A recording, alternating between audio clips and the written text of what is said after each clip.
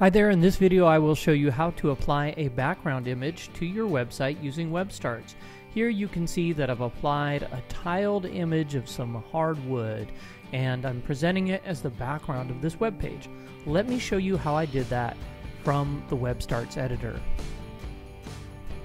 From the WebStarts editor, click on the design icon and then choose background. Next, click Add Background Image and choose the image from your file manager. You can always upload an image if you don't have something already in your file manager. Next, click Insert File and then choose the way that you would like that file to be displayed. You can choose from full screen, fit, tile, tile horizontally, and vertically. For this example, I've chosen the basic tile option and I'm ready now to save my changes and publish them to my live website and I can view them by clicking View Site. So there you have it. I've applied that image as a background to my web page.